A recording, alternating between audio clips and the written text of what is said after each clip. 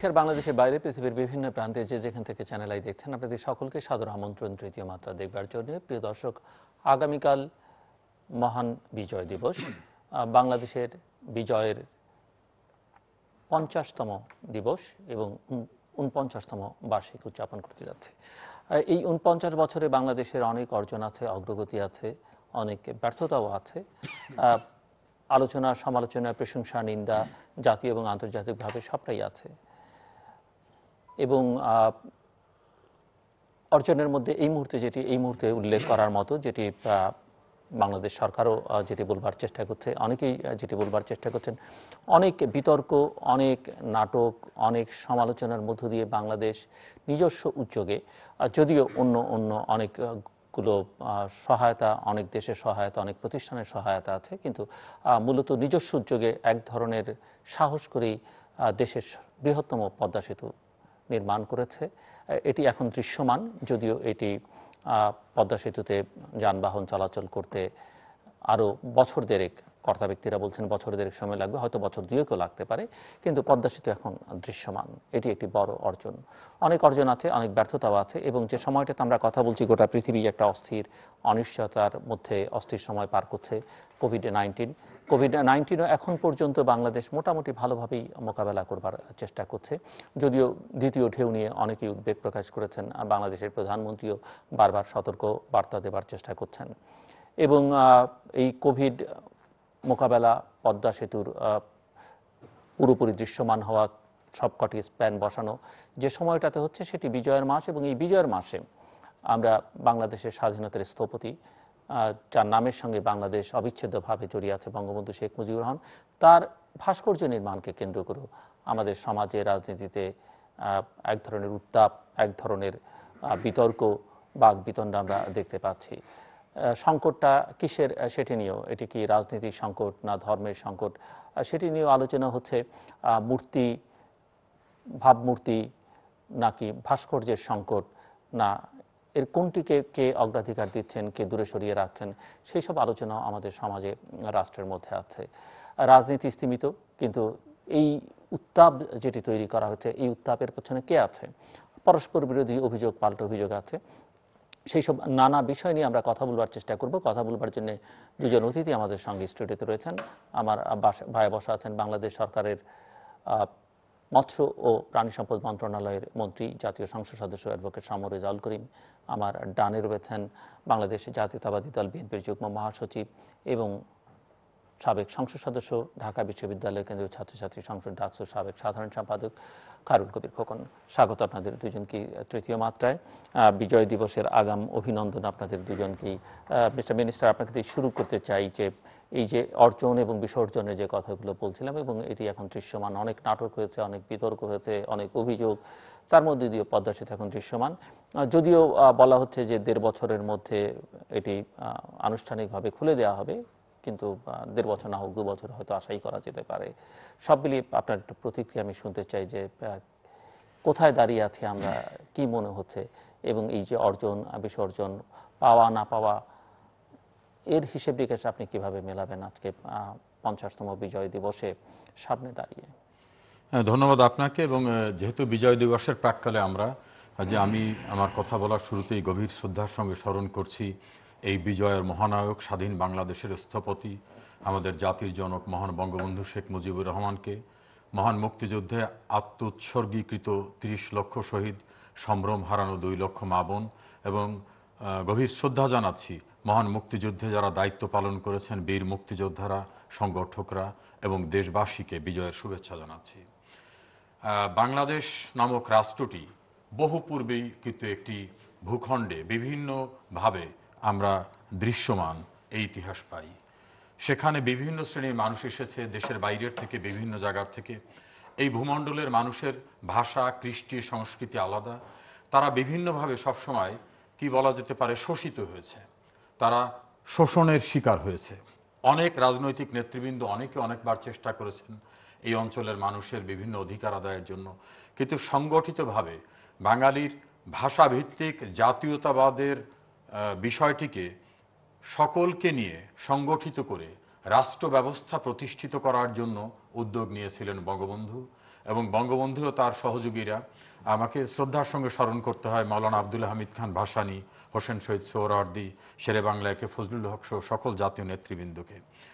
তার ধারাবাহিকতা কিন্তু আমরা বাউন্ন সালের ভাষা আন্দোলন, চুয়ান্ন সালের যুক্তফ্রন্ট নির্বাচন, বাষট্টির শিক্ষা কমিশন আন্দোলন, ছেষট্টিতে চূড়ান্তভাবে বঙ্গবন্ধুর ছয় দফা উনসত্তরের গণ অভ্যুত্থান সত্তরের নির্বাচনী বিজয় এবং একাত্তরের মহান মুক্তিযুদ্ধের ভিতর থেকে বাংলাদেশটা স্বাধীন হয়।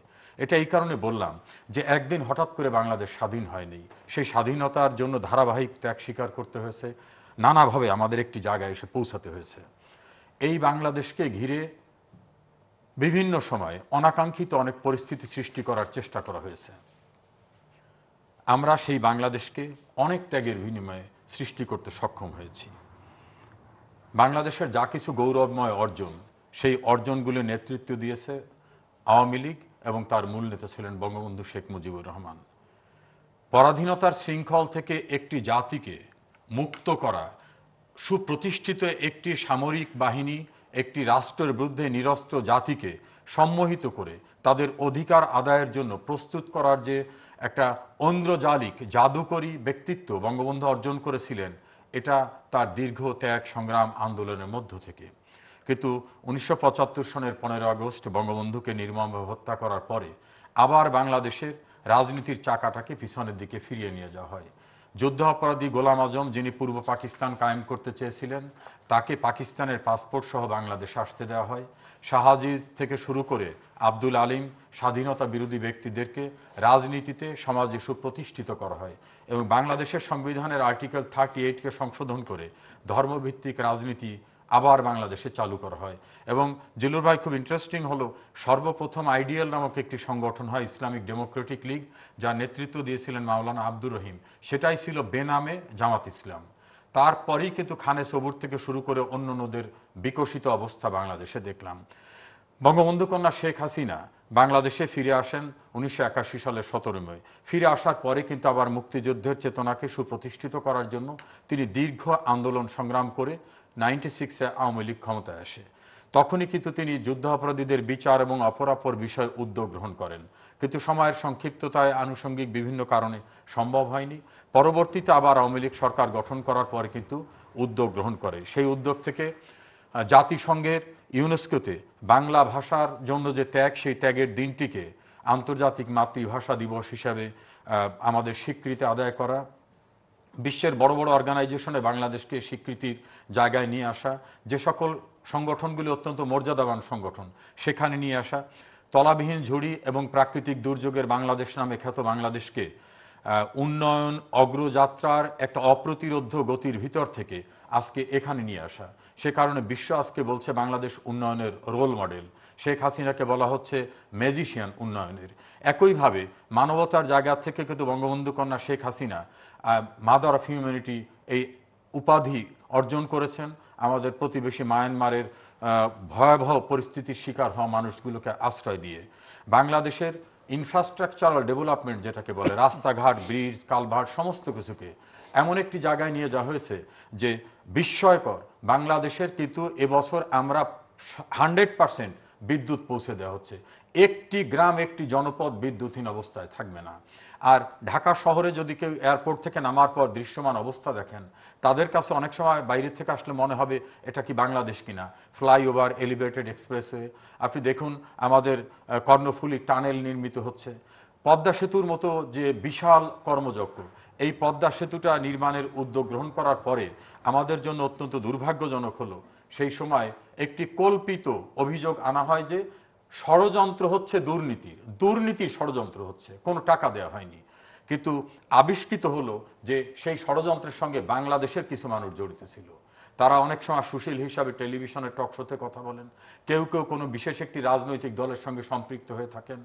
এবং আমি দুঃখের সঙ্গে বলতে হচ্ছে, সাবেক প্রধানমন্ত্রী বেগম খালেদা জিয়া, তিনি তার বক্তব্যে একটা জায়গায় বললেন যে, এটা পদ্মা সেতু নয়, এটা প্রধানমন্ত্রী এবং তার পরিবারের লোকদের জন্য দুর্নীতির সুযোগ করে দেওয়ার জন্য একটি প্রকল্প গ্রহণ করা। তিনি আর জায়গায় বললেন, পদ্মা সেতু আওয়ামী লীগ কখনো করতে পারবে না। এরা জীবনেও করতে পারবে না আমরা প্রয়োজনে দুইটা পদ্মা সেতু করে দেব। এভাবে অভিযোগ আসা শুরু করল। সেই অভিযোগের প্রেক্ষিতে প্রধানমন্ত্রী শেখ হাসিনা দৃঢ় অবস্থান নিলেন যে না, এ জাতীয় কোনো অভিযোগ নাই। একটি মামলা শুরু করতে হলো। মামলা শুরু করার পর সেই মামলার তদন্তের পরে কিন্তু রিপোর্ট আসলো এবং সিটিং একজন সেক্রেটারিকে জেলে নেওয়া হলো, মোশাররফ হোসেন ভুইয়াকে। মন্ত্রীকে সরিয়ে দেওয়া হলো। এর ধারাবাহিকতায় কিন্তু বিশ্বব্যাংক তাদের ফান্ড বন্ধ করে দিল। অর্থাৎ যে চুক্তিটা ছিল, চুক্তিটা বাতিল করে দিল। কানাডিয়ান আদালতে মামলা হলো। সেই মামলায় প্রমাণিত হলো যে কোনো ষড়যন্ত্রের দুর্নীতি হয়নি, এটা কল্পনা প্রসূত বরং দুর্নীতির তথ্য যারা সরবরাহ করেছেন, তারা ইঙ্গিত করে বললেন, এরাই অনেক জায়গায় দুর্নীতির সঙ্গে জড়িত। তখন কার প্রেক্ষাপটটা বিবেচনা করে দেখতে পারেন। বঙ্গবন্ধু শেখ হাসি, কন্যা শেখ হাসিনা দৃঢ়তার সঙ্গে ভাবলেন যে পদ্মা সেতু করতে চেয়েছি বিশ্বব্যাংক সাহায্য দেবে না।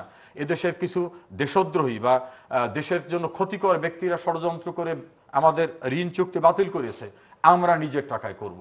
তখন কিন্তু আমাদের ঘরানার অনেক লোকরাও বলেছিলেন, এটা সম্ভব না। সেই সময় কিন্তু স্কুলের বাচ্চারা পর্যন্ত বলল যে, না, আমরা টিফিনের টাকা দেব। সরকারি কর্মচারীরা বলল যে, আমরা টাকা দেব। এই সাহস সঞ্চয় করলেন একজনই মানুষ, সে একজন শেখ হাসিনা। তার দৃঢ়তার কারণে পদ্মা সেতু আজ বাস্তবায়িত হয়েছে, যেটা বিশ্বের ভিতরে এতটা খরস্রোতা নদীতে এত বড় সেতু পৃথিবীর কোথাও নাই। আজকে সেই পদ্মা সেতু দৃশ্যমান হওয়ার ভিতর থেকে বাংলাদেশের বিজয়ের যে পঞ্চাশ বছরের প্রান্তে আমরা এসেছি মনে হচ্ছে শুধু স্বাধীন সার্বভৌম বাংলাদেশ না সমৃদ্ধ উন্নত আধুনিক বাংলাদেশ বিনির্মাণ হয়েছে। জি আসুন বড় কথা আপনার কাছে খায়রুল কবির খোকন। ধন্যবাদ। মহান বিজয়ের মাসে প্রথমে আমি যাদের আত্মত্যাগের মধ্য দিয়ে আমাদের সেই কাঙ্ক্ষিত, প্রত্যাশিত আমাদের এই ভূখণ্ড, এই মানচিত্র, এই পতাকা পেয়েছি। সেই লক্ষ শহীদের বিনিময়ে অর্জিত আমাদের এই স্বাধীনতার সার্বভৌমত যারা, যাদের রক্তের বিনিময়ে পেয়েছি, তাদের বিধি আত্মার প্রতি আমি গভীর শ্রদ্ধা নিবেদন করছি। সাথে সাথে এই এই দেশের জন্য যারা আন্দোলন করেছেন, বিশেষ করে ভাষা আন্দোলন থেকে শুরু করে, পরবর্তীতে সকল অন্যায় অত্যাচার, নিপীড়ন, নির্যাতন, গণতন্ত্র আন্দোলনের জন্য যারা লড়াই করেছেন, সেই সকল জাতীয় নেতা আমাদের মজদুম জননেতা মৌলানা আব্দুল হাবিব হামিদ খান বাসানি, একে ফজল হক, আমাদের সোরার্দি হোসেন সৈয়দ সোরার্দি আমাদের স্বাধীনতার স্থপতি মরম শেখ মুজিবুর রহমান, আমাদের মহান স্বাধীনতার ঘোষক শহীদ রাষ্ট্রপতি জিয়া রহমান আহ, বীর উত্তম তাদেরকে আমি আজকে এই বিজয়ের মাসে গভীর শ্রদ্ধার সাথে স্মরণ করছি। বাংলাদেশের এই ঠিক বিজয়ের ঠিক প্রাককালে ষোলোই ডিসেম্বর দুদিন আগে অত্যন্ত ঠান্ডা মাথায় পরিকল্পিতভাবে যখন নিশ্চিত আমাদের বিজয় ধার প্রান্তে তখন তাদের পরাজয় অনিবার্য ঠিক সেই মুহূর্তে তারা পরিকল্পিতভাবে আমাদের দেশের বুদ্ধিজীবীদেরকে নৃশংস, নিষ্ঠুরভাবে তারা হত্যা করেছে মেধাশূন্য করার জন্যে। আমাদের ডাক্তার, ইঞ্জিনিয়ার, শিক্ষক, সাংস্কৃতিক সেবী রাজনীতিবিদ সবাই এই ধরনের ব্যক্তি যারা, তারা মনে করেছিল যে এই তাদেরকে হত্যা করা হলে আমাদের এই জাতি পঙ্গু হয়ে যাবে। আমরা স্বাধীন রাষ্ট্র হিসাবে আমরা নিজেরা মাথা তুলে দাঁড়াতে পারব না। তাই সেদিন সেই কাজটি করেছিল। কিন্তু আমাদের সেই অসীম সাহসের সাহসিকতায় আমরা সেই দীর্ঘ নমাস রক্তক্ষয়ী সংগ্রামের মধ্য দিয়ে আমাদের সেই কাঙ্ক্ষিত আমাদের স্বাধীনতা লাল সূর্য আমরা চিনে আনতে পেরেছিলাম। তো আজকে ঊনপঞ্চাশ পেরিয়ে আমরা আগামীতে আমরা সুবর্ণ জয়ন্তী উদযাপন করার জন্যে আমরা উদ্যোগ নিচ্ছি। এটা আমাদের এই জাতির জন্য আমাদের একটি অত্যন্ত আনন্দ উৎস- উৎসাহের বিষয়। যে আমরা আমাদের সুবর্ণ জয়ন্তী উদযাপন করতে যাচ্ছি। তো এই উ- ঊনপঞ্চাশ বছরে আমাদের জাতির অগ্রগতি, আমাদের কতটুকু অর্জন আমরা করেছি, কতটুকু আমাদের পৃথিবীর মানচিত্রে আমরা নিজের অবস্থান করে নিতে পেরেছি, সেটা হচ্ছে আলোচ্য বিষয়। তো আমাদের সার্থকতা, ব্যর্থতা, অর্জন অনেক অনেক রয়েছে। তো সেখানে সেই সেই সার্থকতা, ব্যর্থতা আমরা আলোচনা করে আমরা আমরা আমরা আমাদের এই জাতিকে এগিয়ে নিয়ে যেতে চাই। আমরা যারা দেশকে ভালোবাসি, দেশ, দেশের মানুষকে ভালোবাসি, আমরা যারা গণতন্ত্রে বিশ্বাস করি, আমরা সেই গণতান্ত্রিক একটি ধারার মধ্যে আমাদের মানুষের যে আইনের শাসন, বিচার বিভাগের স্বাধীনতা, ন্যায় বিচার, মানবাধিকার, এগুলোকে নিশ্চিত করা, যার জন্য আমরা দীর্ঘ তেইশ বছর পাক হানাদার, পাক বাহিনীর সাথে, সেই পাকিস্তানিদের সাথে আমরা সেই শোষণ, বৈষম্য, সেই অরাজকতা নির্যাতন, নিষ্পেষণ এবং অর্থনৈতিক মুক্তির জন্য আমরা লড়াই করে আমাদের উনসত্তরের গণ অভ্যুত্থান সৃষ্টি করে সেখানে আমাদের সত্তরের সেই নির্বাচন, সেই নির্বাচনে আমরা সংখ্যাগরিষ্ঠ আসন পাওয়ার পরেও যখন আমাদেরকে সেখানে রাষ্ট্রীয় ক্ষমতা দিতে কার্পণ্য করা হলো, তখনই কিন্তু অনিবার্য কারণেই কিন্তু তখন আমাদেরকে সেই প্রতিরোধ গড়ে তুলতে হয়েছিল, স্বাধীনতা যুদ্ধে ঝাঁপিয়ে পড়তে হয়েছিল। আজকে এসেও যদি আমরা এই এত বছর পরে এসে যেই ভোটের জন্যে, ভোটের অধিকারের জন্য, যে গণতন্ত্রের জন্য মত প্রকাশের জন্য সেখানে আমার গণতান্ত্রিক অধিকারের জন্য যে লড়াই করেছিলাম, আজকে আমাদের স্বাধীন দেশে এসে যদি আমার আমার ভোটাধিকার আমার জন্য লড়াই করতে হয়, ভোটাধিকার আজকে হরণ হয়ে যাচ্ছে, আজকে যে গণতন্ত্রের জন্য লড়াই করেছে আজকে গণতন্ত্র নেই দেশে। তাই আজকে সেই একটি গণতান্ত্রিক ধারায় আমাদের যে দেশকে আমাদের ফিরে আনতে হবে। গণতন্ত্র আজকে নির্বাসিত। আজকে আইনের শাসন নাই, বিচার বিভাগের স্বাধীনতা নাই, ন্যায় বিচার নাই, আজকে এই দেশের একটি অরাজকতা। কারণ আমি জনগণের কাছে দায়বদ্ধতা, জবাবদিহিতা নাই এই কারণে যেহেতু জনগণের সরকার মনে করি যে নির্বাচিত সরকার নয়, জনগণের ভোটে তারা নির্বাচিত হয়ে আসেননি। কারণ যে নির্বাচনটা আমরা দেখতে পেয়েছি, সেই নির্বাচনের যে জনগণগত নির্বাচন যেটা হলো, আমি অতীতের কথা আমি নাই বললাম, অতীতের ব্যাপারে বললে অনেক কথা এখানে আসে, আমি ওই বিতর্কে আমি যেতে চাই না যে পঁচাত্তরের পরের কথা বলছেন আমাদের শ্রদ্ধা আমাদের মাননীয় মন্ত্রী মহোদয় সম রেজাউল করিম আমাদের বিশিষ্ট আমাদের আইনজীবী তি- ত- রয়েছেন এবং তিনি অত্যন্ত চমৎকারভাবে তিনি বলেন এবং তিনি তার তার আগে বাহাত্তর থেকে পঁচাত্তর পর্যন্ত ঘটনা তিনি বলেন নাই। কেন পঁচাত্তরের পরবর্তী ঘটনার ঘটনা সংঘটিত হলো? সেটাও তো কিন্তু আমাদেরকে মূল্যায়ন করতে হবে। কি পরিস্থিতি উদ্ভব হয়েছিল? কেন আমরা পঁচাত্তরের পরে আমরা জাতীয় সরকার গঠন করতে ব্যর্থ হলাম? কেন আমরা কারণ কোনো এক ব্যক্তির বা সবারই এখানে স্বাধীনতা সংগ্রামের অবদান, ভূমিকা সব কম বেশি সবারই ছিল, সব রাজনৈতিক দলেরই ছিল। কিন্তু সেখানে যখন জাতীয় সরকার না করে একদলীয় সরকার গঠন করা হয়েছিল, তখন তাদের মানুষের যে আকাঙ্ক্ষা ছিল, মুক্তিযুদ্ধের যে আমাদের মূল চেতনা ছিল, যে মুক্তিযুদ্ধের যে আকাঙ্ক্ষা ছিল যে সেই আকাঙ্ক্ষার কিন্তু আমরা বাস্তবায়ন না করে আমরা সেখানে দলীয়করণ করা হয়েছে, সেখানে আমরা দেখেছি যে একদলীয় শাসন ব্যবস্থা বাকশাল কায়েম করা হয়েছে সংবাদপত্রের স্বাধীনতা হরণ করা হয়েছে, এবং মানুষের বাক ব্যক্তি স্বাধীনতা ছিল না। এবং সেখানে দেখেছি চল্লিশ হাজার ভিন্ন মতের রাজনৈতিক নেতাকর্মীদেরকে নৃশংস নিশ্চিতভাবে রক্ষী বাহিনী, লাল বাহিনী দিয়ে তাদেরকে হত্যা করা হয়েছে। সেই সেই সেই ঘটনা আমরা দেখেছি কী পরিস্থিতি হয়েছিল। সেই পরিস্থিতির কারণে দুর্ভিক্ষ হয়েছিল সেখানে দেশে একটি অরাজকতা হয়েছিল।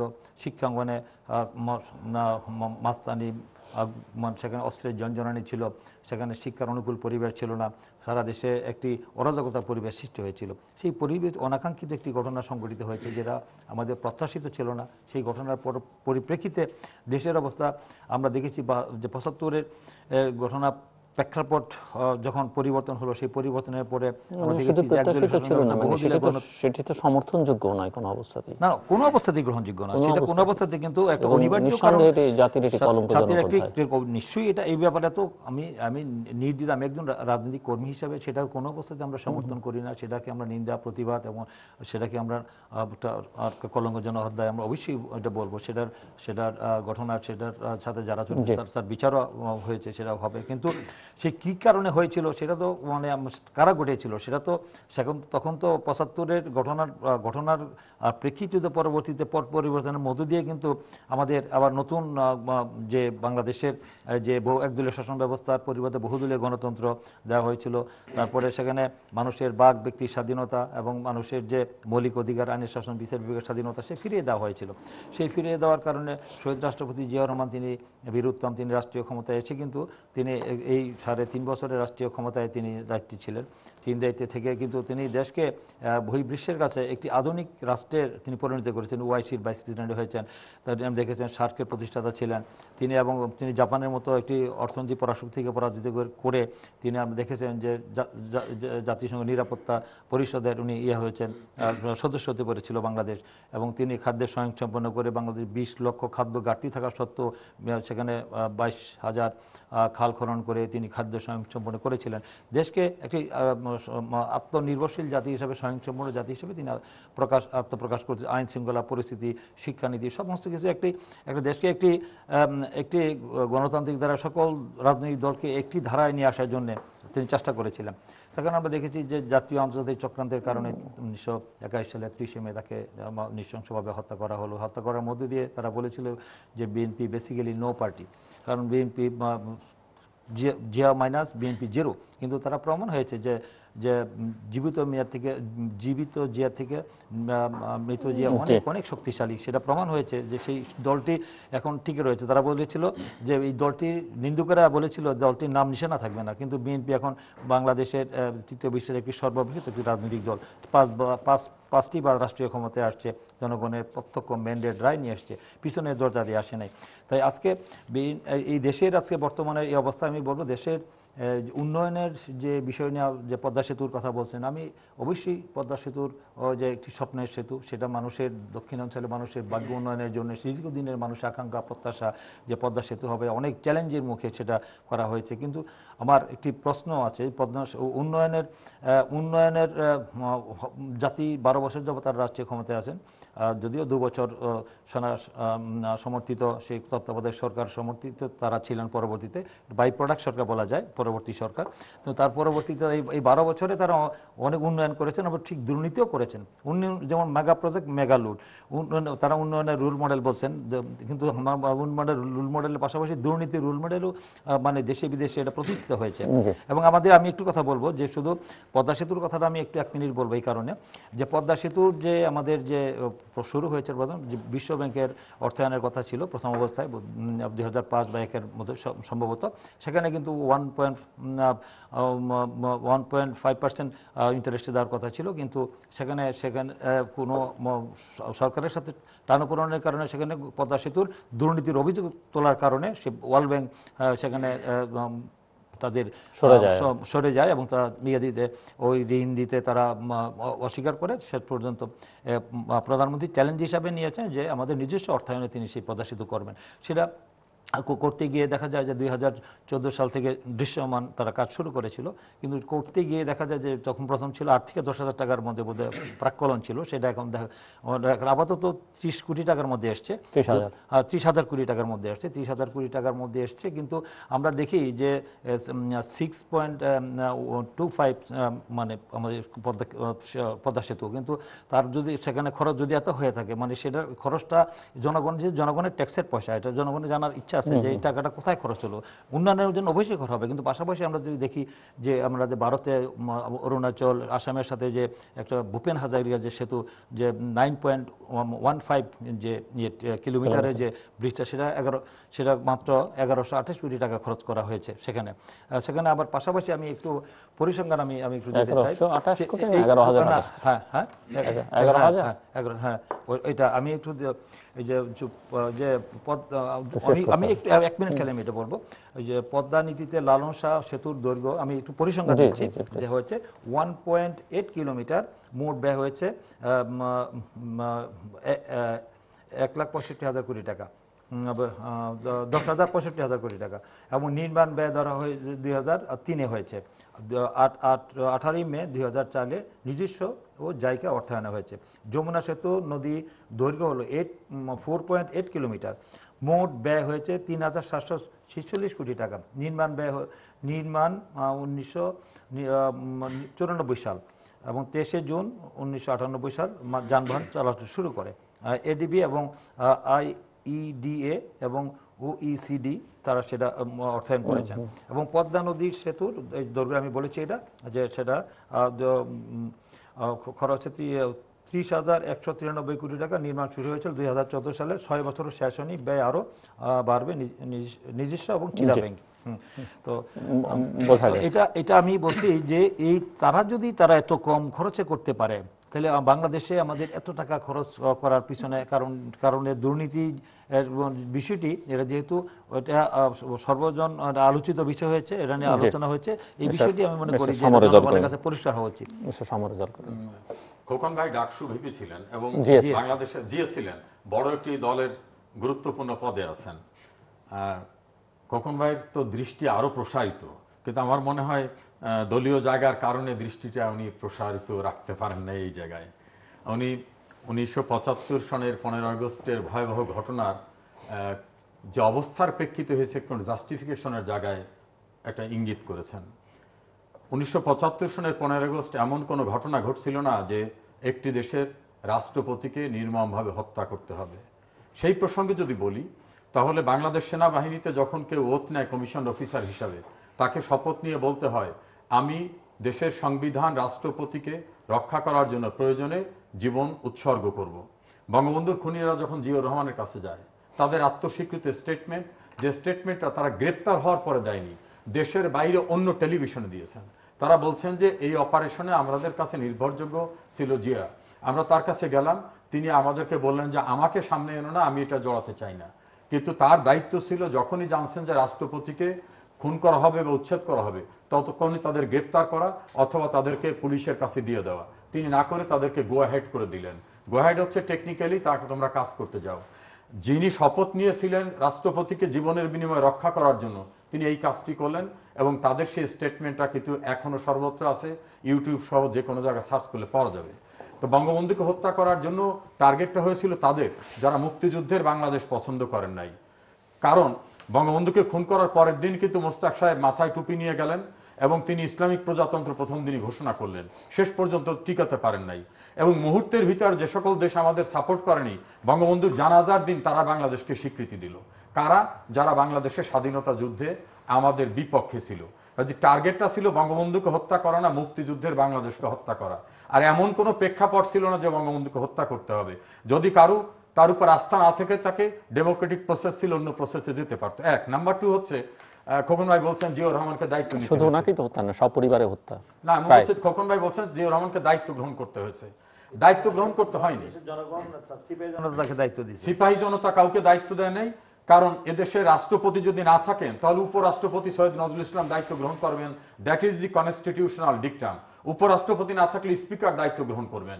চাকুরিজীবী জিয়াউর রহমানকে কোন আইনে ক্ষমতা দিয়েছে যে তিনি রাষ্ট্রপতির আসন গ্রহণ করবেন?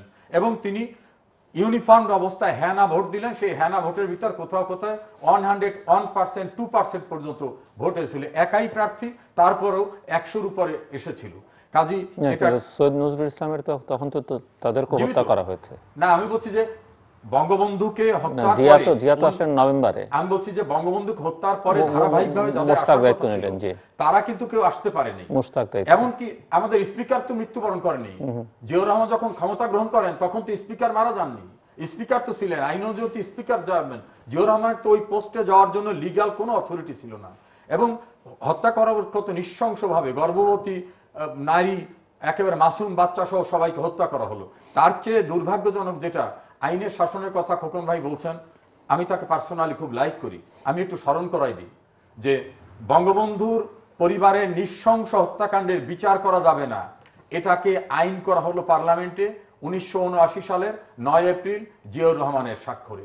এটা কি জিয়াউর রহমান আইনের শাসনের পক্ষে করেছিলেন যে এত বড় বর্বরচিত হত্যাকাণ্ডের বিচার করা যাবে না? এটা ওনার স্বাক্ষরই কিন্তু ইন্ডেমিনিটি অর্ডিন্যান্স আইনে পরিণত হয়। দ্বিতীয় কথাটা বলছেন যে বিশ্ববিদ্যালয়ে অনাকাঙ্ক্ষিত যে পরিস্থিতি হয়েছিল, খোকন ভাই বলছেন, ডাকসুর জিএস হিসাবে তার অভিজ্ঞতা থাকার কথা। বিশ্ববিদ্যালয়ে একটা ভয়াবহ হত্যাকাণ্ড হয়েছিল। সেই হত্যাকাণ্ডের যিনি নায়ক, তার যাবজ্জীবন কারাদণ্ড হয়েছিল। এই যাবজ্জীবন কারাদণ্ড প্রাপ্ত শফিউল আলম প্রধানকে জিয়াউর রহমান মুক্ত করে দিয়ে তাকে রাজনৈতিক দল করতে দিয়েছিলেন। এটা কি আইনের শাসন ছিল। এভাবেই কিন্তু যারা আইন লঙ্ঘন করেছে, তাদেরকে প্রোটেকশন দেওয়া, তাদেরকে ফ্রি করে দেওয়া, তাদের প্রতিষ্ঠিত করার কাজটা জিয়াউর রহমান করার ভিতর থেকে আইনের শাসনকে বাংলাদেশে ধ্বংস করছেন। আরেকটা করছেন, স্বাধীনতা বিরোধীদেরকে বাংলাদেশে রাজনীতিতে প্রতিষ্ঠিত করার ভিতর থেকে। খোকন ভাই বলছেন যে বিভিন্ন রাজনীতি সকলকে নিয়ে এগোবার কথা।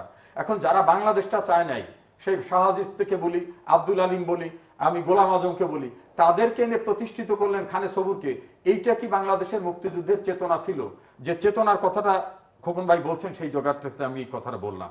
দ্বিতীয় হচ্ছে, ভোটের অধিকার নাই এটা বলছেন। গণতন্ত্র নির্বাসিত। গণতন্ত্র ধ্বংস হওয়ার ঘটনা কিন্তু সর্বপ্রথম খোকন ভাইদের যিনি প্রতিষ্ঠাতা, তিনিই করেছেন। তারপরের ঘটনাগুলো ধারাবাহিকভাবে আমরা সবাই জানি, মাগুরার ঘটনা, মিরপুরের ঘটনা আমাদের রমনা এলাকার ঘটনা, এগুলো আমরা কেউ ভুলে যাইনি। চূড়ান্ত পর্যায়ে যদি আসি, বাইশে জানুয়ারির যে নির্বাচনের প্রেক্ষাপটটা রচনা করছিলেন, যার প্রেক্ষিতে নির্বাচন করতে পারলেন না, কেউ কেউ কিন্তু আনকন্টেস্টেড ইলেকশন হয়ে গেছিল। তখন কিন্তু ইলেকশন যে ওই অন ইলেভেনের ঘটনার পূর্ববর্তী ঘটনা বললাম, সেখানে সকলকে বাদ দিয়ে এরশাদ যখন তাদের জোট ছেড়ে চলে আসলো, তখন তাকে একটা সাজা দিয়ে বলল, তুমি ইলেকশনে অ্যাটেন্ড করতে পারবা না। সেটা কি ডেমোক্রেটিক প্রসেস ছিল? এরপরে ধরেন আমি দুই হাজার চোদ্দ সালে নির্বাচন নিয়ে বিতর্ক হতে পারে, অবশ্যই হতে পারে। আমি অন্ধ না। নির্বাচনে যাওয়া না যাওয়ার অধিকার অনেকেই আছে। মাননীয় প্রধানমন্ত্রী শেখ হাসিনাকে তো ইনভাইট করছিলেন যে আসেন। আপনারা কি নিতে চান? কোন পোর্টফোলিও নিতে চান? সেই পোর্টফোলিও আপনাদের দেওয়া হবে। বেগম খালেদা জিয়া বললেন, না, আমরা যাব না। সেই টেলিফোনিক কনভারসেশন খোকন ভাই শুনেছেন, আপনি শুনেছেন, আমি শুনেছি। সমঝোতার জায়গায় কিন্তু তিনি আসেন নাই। তারপরে যে নির্বাচনটা হলো, নির্বাচন মাওলানা আব্দুল হামিদ খান ভাষার নির্বাচন বয়কট করতেন। খোকন ভাইরে বলছিলেন, নির্বাচন প্রতিহত করব নট বয়কট। এই প্রতিহত করার নামে কি ভয়ঙ্কর ঘটনা ঘটেছিল, কি জাতীয় ভাবে সারা দেশে অগ্নি সন্ত্রাসের ভয়াবহ একটা পরিস্থিতি সৃষ্টি করা হলো। ট্রাকের ভিতর গরু পুড়ে যাচ্ছে, মানুষ পুড়ে যাচ্ছে, রাস্তাঘাট কেটে ফেলা হচ্ছে, এই ভয়ঙ্কর অবস্থা হয়েছিল। খোকন ভাই বলছেন, চল্লিশ হাজার ভিন্ন মতাবলম্বী মানুষকে হত্যা করা হয়েছিল। এই স্ট্যাটিস্টিক্সটা আজ পর্যন্ত খোকন ভাইরা কিন্তু কোথাও শ্বেতপত্র করে বাইরে কোথাও দেন নাই। বরং একটি তথ্য আছে জিয়র রহমান যখন ক্ষমতায় ছিলেন তখন ঠুনকো অজুহাতে প্রতি রাতে কীভাবে নির্মমভাবে মুক্তিযুদ্ধের পক্ষের সেনাবাহিনীর কর্মকর্তা এয়ারফোর্সের কর্মকর্তাকে হত্যা করতেন। একটা ঘটনা আছে যে একদিন অনেককে নিয়ে আসছে তার ভিতরে একজনের যাবজ্জীবন হয়েছে তাকেও ভিড়ের ভিতরে নিয়ে আসছে তাকেও কিন্তু ফায়ারিং স্কোয়াডে দেওয়া হয়েছিল। বরং জিয়াউর রহমানের জীবদ্দশায় শেষ দিন পর্যন্ত। তিনি ভয়াবহভাবে কারফিউ জারি করে আলাদা একটা পরিবেশ সৃষ্টি করতে কিন্তু বাংলাদেশটাকে সেই জায়গায় নিয়ে গেছিলেন। তিনি মুক্তিযুদ্ধের চেতনাকে ধ্বংস করেছিলেন। আরটা বলছেন যে, পঁচাত্তরে মুক্তিযুদ্ধের চেতনা নির্বাচিত সরকার না ইত্যাদিতে, এগুলো নিয়ে অনেক বিতর্ক হতে পারে। যে সরকারগুলা খোকন ভাইরে প্রতিষ্ঠিত করেছিলেন, তার ভিতর ফেয়ারলি কোন নির্বাচনের সরকারটা ছিল? পনেরোই ফেব্রুয়ারি নির্বাচন বলেন, আপনি তার পূর্বের ঘটনাবলী বলেন, ধারাবাহিকভাবে যদি বলি, এটা দীর্ঘ সময় লেগে যাবে। এই বিতর্কে না গিয়ে বাংলাদেশের আজকে যে অর্জন সেই অর্জনটাকে পাকিস্তান এপ্রিসিয়েট করছে। পাকিস্তানের চেয়ে অর্থনৈতিক অবস্থা আমাদের ভালো ভারতের চেয়ে ভালো। পদ্মা সেতু নিয়ে পাকিস্তান অভিনন্দন জানাইছে। খোকন ভাইদের দল একটু অভিনন্দন জানাবার মতো উদারতা দেখা খোকন। না আপনি তো অনেকগুলি আহ, বিষয় উত্থাপন করেছেন। আমাদের, প্রেক্ষিতে আমাদের তো তর্কের জন্য তর্ক বিতর্কের জন্য আমি আহ, ওই আলোচনা আজকে যেতে চাচ্ছিলাম না। তারপর আপনি ওই বিষয়গুলো যখন তুলে নিয়ে এসছেন তাহলে কিছু তো বলতেই হয়।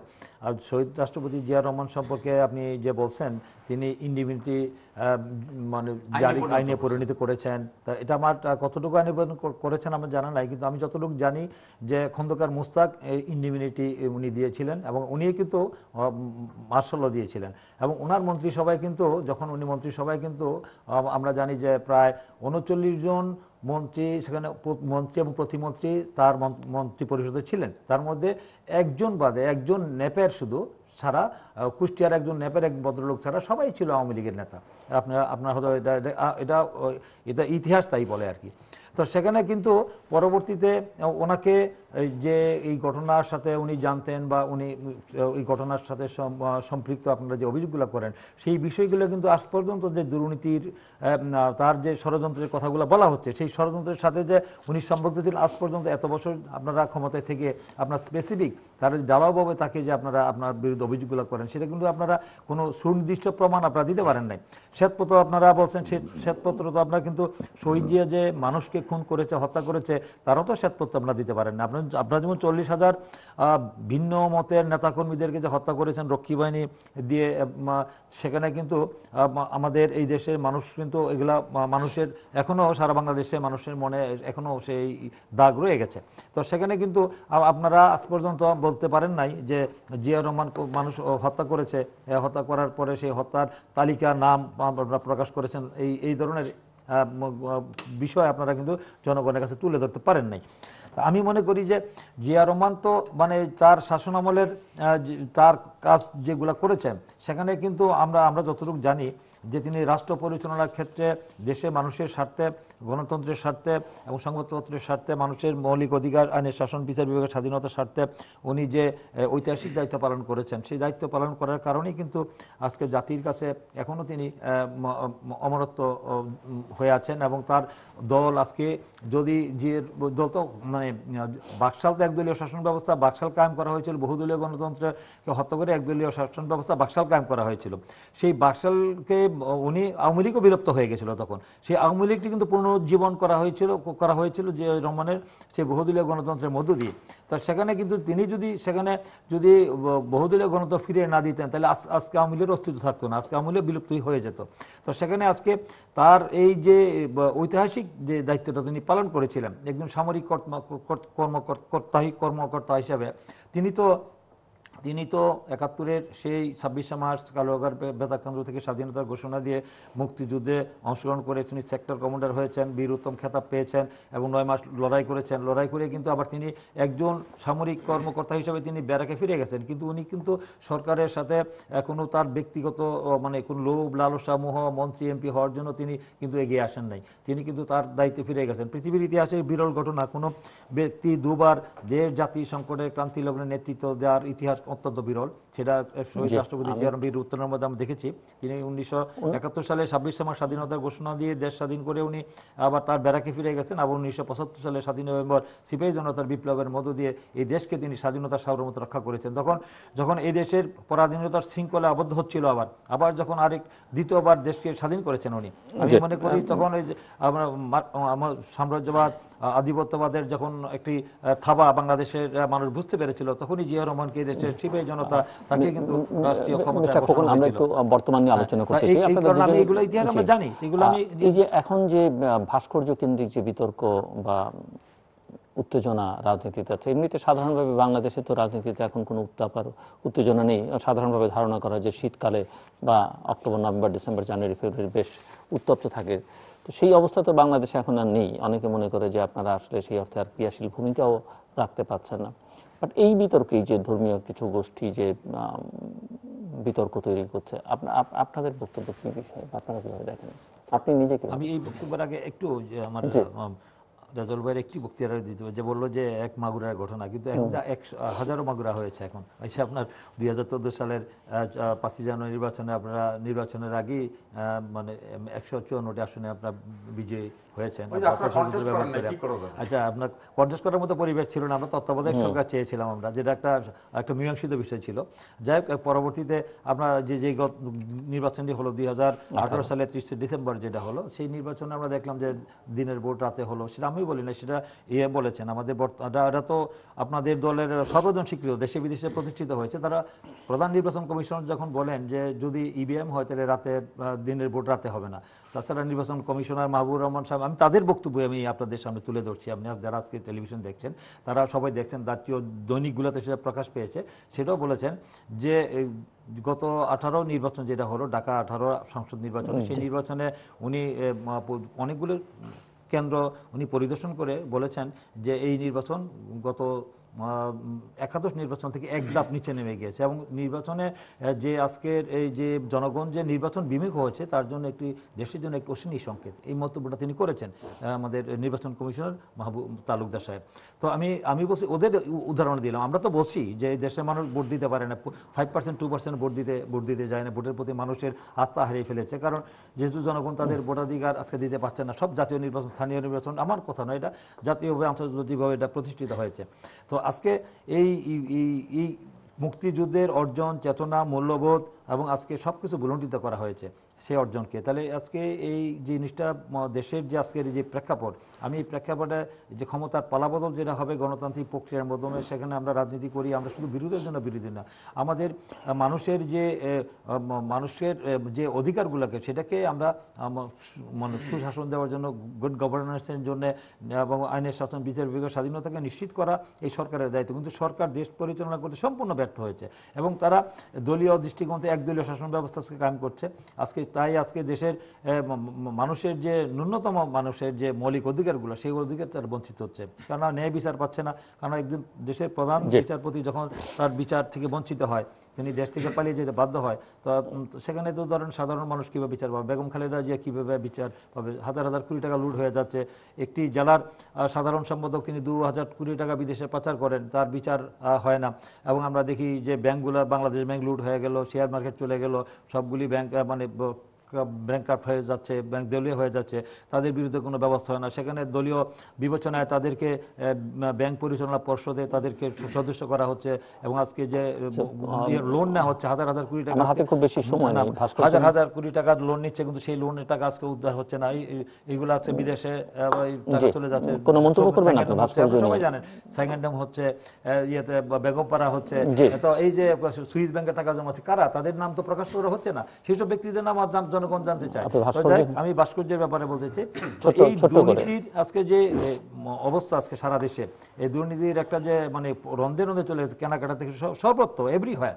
তো এটা তো বলে আর সারাদিনও শেষ করা যাবে না। দুর্নীতি যে মানে বিস্তার করেছে চতুর্দিকে। তো আমি যেটা বলছি যে আমাদের যে বিশেষ করে যে ভাস্কর্য মূর্তির বিষয় নিয়ে যে বিতর্ক সমস্যা এটা এটা কিন্তু আমি মনে করি যে বাংলাদেশের মানুষ আমি মনে করি যে তারা ধর্মান্ধ না ধর্মভীরু। এই দেশের প্রায় নব্বই পঁচানব্বই মানুষ আমরা মুসলিম। মুসলমান সেখানে অষ্টআশি ভাগ। হ্যাঁ প্রায় 88 এইটি এইটি এইটি এইটি মানে লেটেস্ট ইয়ে যেটা পরিসংখ্যানে আর কি। তো এইটি মানুষ যেখানে মুসলিম সেখানে মুসলিম ধর্মীয় সেন্টিমেন্টের আঘাত করতে পারে এই ধরনের কিছু করা আমাদের মনে উচিত না। তারপরে সেই বিষয়টি যে নিয়ে আমাদের মধ্যে যে পারস্পরিক আমরা দেখতে পাচ্ছি যে দুই পক্ষই এক গার মটকিয়ে দেওয়া হবে টেনে হিসড়ে মানে ভেঙে ফেলা হবে। এই যে অধ্যত্ত দুই পক্ষের এটা আসলে খুবই দুঃখজনক এটা আমরা প্রত্যাশা করি না। আমরা আশা করেছিলাম এই একটা অত্যন্ত সংবেদনশীল একটি বিষয় সেন্সিটিভ একটি বিষয়। এই বিষয়টি ধর্মীয় যা- ভাবে যারা আলেমোলাম আছেন এবং যারা ইসলামী সংগঠন আছেন তার সাথে সরকারের সাথে একটা সমঝোতার ভিত্তিতে যদিও ধর্মীয় ধর্ম প্রতিমন্ত্রী বলছেন যেটা আলোচনার প্রেক্ষিতে আমরা সমস্যা করতে নিষ্পত্তি করতে চাই।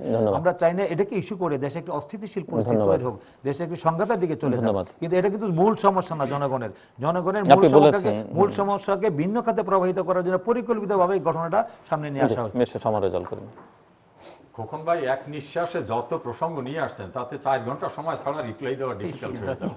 কিছু আজকে দেন আরেকদিন। না আরেকদিন দেব। উনি বলছেন দুর্নীতির কথা এবং ন্যায় বিচার পাচ্ছে না।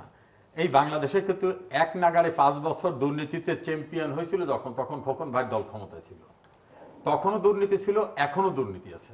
এখনের সুবিধাটা হলো এখন প্রতিদিন দুর্নীতিবাজ ধরা হচ্ছে মামলা করা হচ্ছে। খোকন ভাইদের সময় ছিল না। ন্যায় বিচার পাচ্ছেন না এটা খোকন ভাই বলছেন প্রসঙ্গক্রমে তার দলের নেত্রীর কথা বলছেন। এখন দুর্নীতির দায়ে আওয়ামী লীগের দায়ের করা মামলা না দুর্নীতির দায়ে বেগম খালেদা জিয়ার কারাদণ্ড হয়েছে। এটাকে appeal করেছেন। এটাকে কেয়ারটেকার গভর্নমেন্ট আমলে হয়েছে। হ্যাঁ তাই বলছি। আওয়ামী লীগের আমলে লাখ টাকা এখন সাত লাখ টাকা আমি সেটা বলছি যে সাত কোটি টাকা। তার বিরুদ্ধে উনি অ্যাপিল করলেন অ্যাপিলে আদালত ওনার সাজাটাকে আরও বাড়িয়ে দিলেন। তার সেকেন্ড নেতা যে ভারপ্রাপ্ত চেয়ারম্যান বা কো চেয়ারম্যান তারেক সাহেব দুর্নীতি দায়ে কারাদণ্ড প্রাপ্ত হয়েছেন এবং তিনি খুনের দায়েও যাবজ্জীবন কারাদণ্ড প্রাপ্ত হয়েছেন। যুদ্ধ অপরাধীদের বিচার ওনারা না করে সব ছেড়ে দিয়েছিলেন জেলখানার থেকে। এই সরকার যুদ্ধ অপরাধী অর্থাৎ শেখ হাসিনার নেতৃত্বে সরকার যুদ্ধ অপরাধীদের বিচার করেছেন। বঙ্গবন্ধুর খুনিদের বিচার করেছেন। নারায়ণগঞ্জের সাত খুনের ঘটনার বিচার করেছেন বিডিআর কিলিং এর বিচার করেছেন আহসানুল্লাহ মাস্টার হত্যাকাণ্ড মঞ্জুর ইমাম হত্যাকাণ্ড সহ সকল বড় বড় অপরাধীর বিচার করছেন। কিন্তু আমি একটা প্রশ্ন যদি করি খোকন ভাইকে রিপ্লাই দিতে পারবেন না। তার দলের প্রতিষ্ঠাতাকে নির্মম হত্যা করা হলো। বিএনপি ক্ষমতায় তারা বিচারটি করেন নাই। শেখ হাসিনা কিন্তু বিচার বিচার হয়েছে তো। বিচার হয়নি। সিআইডি ফাইনাল রিপোর্ট দিয়ে বলছেন সাক্ষী দেওয়ার জন্য বারবার তাগিদ দেওয়ার পর তারা কেউ আসেন নাই। ফাইনাল রিপোর্ট হয়ে গেছে। ফাইনাল রিপোর্ট হলেন যখন, তখন বেগম খালেদা জিয়া বাংলাদেশের প্রধানমন্ত্রী।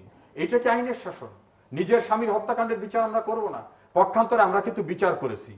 মেগা দুর্নীতির কথা বলছেন। ভয়াবহ দুর্নীতির দায়ে কিন্তু আপনাদের লোকরা কারাদণ্ড প্রাপ্ত হয়েছেন। আওয়ামী লীগের নেতারাও দুর্নীতির দায়ে কোর্টের মামলার মুখোমুখি হয়েছেন। কেউ কেউ কারাদণ্ড প্রাপ্ত হয়েছেন। আমরা কিন্তু কারও বিচার করব না এই জায়গাটা না। আর একটা কথা বলছেন, নির্বাচনের গণতন্ত্রের কোথায় কি ইলেকশন হয়েছে ধারাবাহিকভাবে। এইটা বললে খোকন ভাই আমি ক্রোনোলজিক্যালি আপনাকে যে রিপ্লাই দিতে পারব টাইম আমাকে পারমিট করবে না হয়তো। যে সকল ঘটনার পারসেপশনটা কি? বুঝছেন রেজাল ভাই সারা বাংলাদেশে যে নির্বাচনগুলি হলো আর নির্বাচন যে এই সরকারের আমলে মানে জাতীয় নির্বাচন থেকে স্থানীয় একটি নির্বাচনকে নির্বাচন কমিশন সরকার সুষ্ঠু অবাধ নিরপেক্ষ একজন মাহবুব তালুকদারের কথা বলছেন। এই মাহবুব তালুকদারের কথাটাকে আমি ইগনোর করছি না। এই মাহবুব তালুকদার সেই ব্যক্তি। ইলেকশন কমিশনে বিভিন্ন পক্ষের সাজেস্টেড যিনি ছিলেন তার ভিতরে বিএনপির সাজেস্টেড যিনি ছিলেন উনি একাই ওই কথা সত্য কথা বলেই BNP হয়ে যায়। উনি উনি একা বলতেছেন election commission as a whole না। আবার চিফ ইলেকশন কমিশনার কিন্তু জিয়াউর রহমানকে যেভাবে প্রশংসা করে বলছিলেন যেটা আমি কথার কথা বলিনি এটা আমি বিশ্বাস করি সেই জায়গা থেকে বলতেছি। এই সকল কথার চেয়ে আমার কাছে প্রাধান্য হচ্ছে বাংলাদেশের ভোটের যদি ক্ষমতার আপনি মানুষকে আকৃষ্ট করতে পারেন তাহলে কিন্তু কোনো ক্ষমতাসীনরা কিচ্ছু করতে পারে না। পাকিস্তানিরা পারে নাই এরশাদ সাহেবের ক্ষমতা তিনি জগদ্দল পাথরের মতো থাকার চেষ্টা করেছিলেন তিনি পারেন নাই। আপনারা পনেরোই ফেব্রুয়ারি নির্বাচন করে থাকার চেষ্টা করেছিলেন পারেন নাই। জনগণকে আকৃষ্ট করতে হবে। আপনাদের ডাকে তো জনগণ আসে না। কারণ মানুষ মনে করে আপনাদের দলের নেতৃত্বের জায়গাটা মনে করে শীর্ষ দুই নেতা দুর্নীতি দায় কারাদণ্ড প্রাপ্ত সেকেন্ড কি কেই নয় এই দলে কি উপযুক্ত কোনো এটা প্রমাণিত না যে আপনার তার- বিরুদ্ধে কোনো অভিযোগ প্রমাণ হয় না পর্যন্ত। প্রমাণিত হয়েছে। আরেকটা কথা আপনি বলছেন যে আমার জানা নাই যে ইন্ডেমনিটি অর্ডিন্যান্সকে সে আইনে পরিণত করছে কিনা। খোকন ভাই you please kindly note it উনিশশো সালের নয় এপ্রিল জিয়াউর রহমান রাষ্ট্রপতি তিনি যদি ওটাকে আইন না করতেন তাহলে অর্ডিন্যান্স কিন্তু আইন না। পার্লামেন্টে অনুমোদিত না হলে ওটা কিন্তু আইন না। এটা জিয়াউর রহমান করে কিন্তু বঙ্গবন্ধু খুনিদের বিচারের পথ। টোটালি রুদ্ধ করে গেছেন। আমি যেটা বলছিলাম, আপনি সেটা রিপ্লাই দেন নাই, যে ঢাকা বিশ্ববিদ্যালয়ের সাত খুনের ঘটনা শফিউল আলম প্রধানকে মুক্ত করে দিয়ে তাকে জাকপা তৈরি করার ক্ষমতা কিন্তু জিয়াউর রহমান দিয়েছিল। গোলাম আজমকে বাংলাদেশের অধিকার কিন্তু বাংলাদেশে আসার অধিকার কিন্তু জিয়র রহমান দিয়েছিল। শাহাজিজকে প্রতিষ্ঠিত কিন্তু জিয়র রহমান করেছিলেন। জয়পুরহাটের আব্দুল আলিমকে প্রতিষ্ঠিত জিয়র রহমান আপনারা তো। করলেন। আপনাকে নূর ইয়াকে মোল্লাকে আপনারা করেন না? মন্ত্রী করেন নাই? না না না আমি যখন বলছি তখন আমি লীগ ক্ষমতায় যায় নাই তখন আমি ক্ষমতায় যায় নাই। আওয়ামী লীগ আমরা- ক্ষমতা গেছে তো নাইনটি সিক্সে হ্যাঁ। আমি বলছি নাইনটি সিক্সে আর এই যে কাহিনীগুলো আমি বললাম এই কাহিনী পূর্বে খানে সবুরকে কারা রাজনীতিতে প্রতিষ্ঠিত করেছেন? আপনারা রাজনীতিতে প্রতিষ্ঠিত করেছেন। এবং তার ধারাবাহিকতায় বেগম খালেদা জিয়ার সরকার আলী হোসেন মুজাহিদ মতিউর রহমান নিজামী সালাউদ্দিন কাদের চৌধুরী সহ সবাইকে প্রতিষ্ঠিত করেছেন। এবং তাদের যখন বিচার করা হচ্ছিল আপনার নেত্রী তখন রাজশাহীতে বলছিলেন এরা যুদ্ধ অপরাধী না এরা রাজবন্দী এদের মুক্ত করে দিতে হবে। দাবি করলেন। কাদের দাবি করলেন? চিহ্নিত যুদ্ধ অপরাধীদেরকে। এটাই কি মুক্তিযুদ্ধের চেতনা ছিল? সেই জন্য বলছি যে আমরা অতীতে যেতে চাই না। আজকে বাংলাদেশের অর্জনটা হ্যাঁ, আমি একটু শেষ করি। বাংলাদেশের যে অর্জনটা অন্ন বস্ত্র বাসস্থান চিকিৎসা শিক্ষা আজকে ডিজিটাল রাষ্ট্র ব্যবস্থা আপনার নিশ্চয়ই মনে থাকার কথা যে সাইবার কানেকশন ফ্রি দিতে যখন আসলো বিশ্বের কনসার্ন অথরিটি আপনার সরকার তখন বলল যে এটা আমরা নিব না আমাদের তথ্য পাস হয়ে যাবে। ডিজিটাল বাংলাদেশের কনসেপ্ট যখন নিয়ে আসলাম আমরা তখন আপনারা বলেন এটা খায় না গায়ে মাখি এটা কি? আজকে কিন্তু ডিজিটাল বাংলাদেশ আমরা সবাই আমি আসছি আপনার কাছে। জন্যই আহ, আমি কবির খবর একেবারে শেষ প্রান্তে আমরা জাস্ট দু মিনিট সময় আপনার জন্য শেষ করবার জন্য। না আজকে আপনি তো অনেকগুলো অভিযোগ আমাদের বিরুদ্ধে করলেন কিচ্ছু বলতে সে- ব্যাপারে। সেখানে আমাদের আমি মনে করি যে আওয়ামী লীগের জনগণের স্বার্থে তারা কি করেছে আমি যত কথাই বলি তৃতীয় মাত্রায় জনগণের সাথে যত কথাই বলি মানুষের স্মৃতি এত বিভ্রাট হয়নি যে স্বাধীনতার উত্তর এবং এই পর্যন্ত আওয়ামী লীগ আর বিএনপি জনগণের স্বার্থে দেশের স্বার্থে কি কর্মকাণ্ডগুলো করেছে। সেগুলো এখন আমি বললে ফিরিস্তিদের অনেক ফিরিস্তি দেওয়া যাবে। যে শহীদ রাষ্ট্রপতি জিয়া রহমান কী কাজগুলো করেছেন, কাকে প্রতিষ্ঠিত করেছেন, কাকে করেন নাই, কারা রাজাকারকে করেন নাই, স্বাধীনতা উত্তর। কিন্তু আমরা দেখেছি যে আওয়ামী লীগ কী ঘটনা ঘটেছে। আপনাদের জামাত শিবিরদেরকে প্রতিষ্ঠা করার ক্ষেত্রে আজকে যে বাংলাদেশে প্রতিষ্ঠিত সেটার জন্য আপনারাও কিন্তু কোনো অংশে দায়ী নন। সেখানে কিন্তু আপনারা তাদেরকে প্রতিষ্ঠিত করেছেন। এবং গোলাম আজমের সাথে যখন আমাদের কেয়ারটেকার গভর্নমেন্টের অধীনে যখন নাইনটি ওয়ানের ইলেকশনে আমরা বিজয়ী হলাম তার পরবর্তীতে আমরা দেখলাম যে ওই আন্দোলন করতে গিয়ে তত্ত্বাবধায়ক সরকারের দাবিতে কিন্তু গোলাম আজমের কাছে আপনারা গিয়েছিলেন জামাতের কাছেও গিয়েছিলেন পায়েদের কদম মুছেও করেছেন কোরআন শিব বিনিময় করেছেন তারা আপনারা দেখেছেন জায়না মতো দিয়েছেন আমরা আওয়ামী লীগের নেতারা গিয়েছেন অনেক প্রমাণ আছে এটা প্রমাণ করছে? ছবি আছে জাতীয় অনেক ছবি আছে না, কে করছে? আপনি আর talk জা- show যে ছবি আছে এগুলো তারা আপনারা যে করেন নাই তা না কিন্তু আজকে আমাদের যত আজমের নন্দ ঘোষ আমাদের বিরুদ্ধে এই অভিযোগগুলো ভিত্তিহীন আমার মনে হয় যে আমাদের দেশকে আমরা এগিয়ে নিতে চাই। দেশে আমরা একটি গণতন্ত্র গণতান্ত্রিক পদ্ধতিতে দেশ চলুক, দেশের মানুষের মানু- দেশের মানুষ গণতান্ত্রিক যে অধিকার, একটা স্বাধীন দেশের মানুষের যে যে অধিকারগুলি, সেই অধিকারটা ভোগ করুক। কিন্তু জনগণকে আজকে স্বাধীন, দেশ স্বাধীন দেশ আমরা পরাধীন। মনে হচ্ছে যে আমার যে, আমাদের স্বাধীনতা যে আমার মত প্রকাশের স্বাধীনতা, আমার কথা বলার যে অধিকার, আমার যে ন্যায় বিচার, আমার যে আইনের শাসন বিচার বিভাগের স্বাধীনতা সেখানে মানবাধিকার সেই কোন মানবাধিকারের জন্য বিদেশে যখন অস্ট্রেলিয়াতে আপনার ব্রিটিশ পার্লামেন্টে যখন মানবাধিকার উদ্বেগ প্রকাশ করে বাংলাদেশকে নিয়ে, তখন কিন্তু আমরা শঙ্কিত হই। যে আমরা বাংলাদেশের মানবাধিকার কোন পর্যায়ে আছে? আসক থেকে যে প্রতিবেদন, যে তিন হাজার মানুষকে আপনারা নয় নয় বছরে বিনা বিচারে একটা জুডিশিয়াল কিলিং যাকে বলে বিচার বহির্ভূত হত্যাকাণ্ড করেছেন, তিন তিন ইয়েতে গত নয় বছরে, দুই হাজার নয় থেকে দুই উনিশ পর্যন্ত।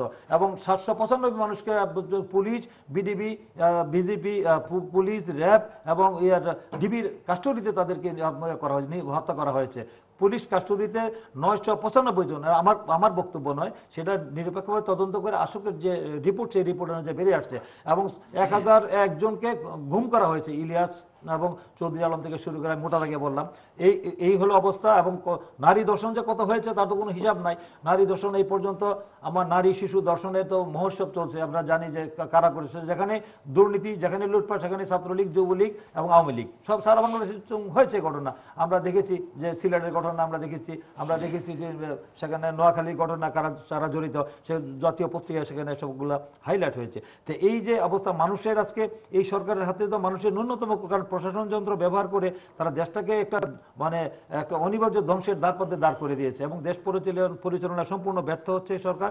তাই কোভিড নাইন্টিন শুধু নয় এই মহামারীতে তারা যে দুর্নীতি করেছে এই মহামারীতে যে স্বাস্থ্য খাতের যে আজকে বেহাল দশা আমি খালি যে তারা বলছেন আমি একটি খালি উন্নয়নের যে ফিরিস্তি তারা দেন দক্ষিণ তারা বলছেন যে উন্নয়নের রোল মডেল দক্ষিণ এশিয়ার স্বাস্থ্য সেবায় মাথাপিছু সরকারি ব্যয় বাংলাদেশের সর্বনিম্ন অষ্টআশি ডলার ভারতে দুইশো সাতষট্টি ডলার পাকিস্তানে দুইশো উনত্রিশ ডলার। শ্রীলঙ্কায় তিনশো। তিনশো উনসত্তর ডলার এবং মালদ্বীপে দুই হাজার ডলার। সেখানে বাংলাদেশে একটা আইসিইউ একটা সরকারি হাসপাতালে একটা আইসিইউ অ্যাম্বুলেন্স নাই। সেখানে আমরা কীভাবে গর্ব করেন যে দেশের- সম্পদ সম্পদ লুট করে কারণ আমি দেখেছি আমি এক মিনিট বলতে ধন্যবাদ, আর সময় নেই। আমার এক মিনিটও সময় নেই কদিন আগে আমরা একটি একটি পত্রিকায় হেডলাইন এবং বক্তৃতা শুনেছি রাশেদ খান মেনন বলছেন বাংলাদেশ থেকে নয় লক্ষ কোটি টাকা বিদেশে পাচার করেছেন এবং দেশের মানুষ তারা ভোটাধিকার থেকে বঞ্চিত হয়েছে ভোট দিতে পারে আপনাদের প্রথম হলো পদ্মা সেতুর ব্যয়ের প্রসঙ্গটা নিয়ে উনি একটা সার্ভে বা স্ট্যাটিস্টিক্যাল রিপোর্ট দিচ্ছেন এই রিপোর্টটা একটু ক্লিয়ার করা দরকার। পদ্মা সেতু কিন্তু সিক্স পয়েন্ট টু না। প্র্যাকটিক্যালি কিন্তু এটা হলো নদীর অংশ। সবটা মিলে কিন্তু হচ্ছে টেন পয়েন্ট ফোর কিলোমিটার কাজে যেটা দিয়ে আপনারা উদাহরণ দেন, সেইটা এবং এর লেন্থটা কিন্তু এক না। নাম্বার টু হচ্ছে, পদ্মা সেতুর নিচে এগারো তলা একটা বিল্ডিং পরিমাণ যে মাটি, এই মাটি কিন্তু স্রোতের সঙ্গে ভেসে যায়। চল্লিশ তলা একটা বিল্ডিংয়ের যত হাইট হয় ততটা মাটির গভীরে গিয়ে কিন্তু, পানির ভিতর না, মাটির গভীরে গিয়ে কিন্তু পাইলিং করতে হয়েছে। পৃথিবীর ইতিহাসে এত খরস্রোতা কোন নদীতে আজ পর্যন্ত এ জাতীয় সেতু হয়নি। সে কারণে এখানে ব্যয়ের পরিসরটা বেড়েছে একটা পর্যায়ে। সেতু আদৌ হবে কিনা এরকম একটা অবস্থা দেখা দিয়েছিল। কাজে যেটার সঙ্গে উদাহরণ দেওয়া হচ্ছে, সেখানের মাটির স্তর শক্ত থাকে। এখানের মাটির স্তর পলি এত নিচে এবং প্রতিটি পাইলিং কিন্তু পাঁচটা অংশে এইভাবে বসাতে হয় যে একদিক থেকে পানিটি সরে গেলে অন্য দিক থেকে ধারণ করে রাখতে পারে। একুশটি জেলা সংযুক্ত হয়েছে। বাংলাদেশের অর্থনীতির উন্নয়নের যে একটা অগ্রযাত্রা টোটাল দেশটাকে একটা কানেক্টিভিটি আনা।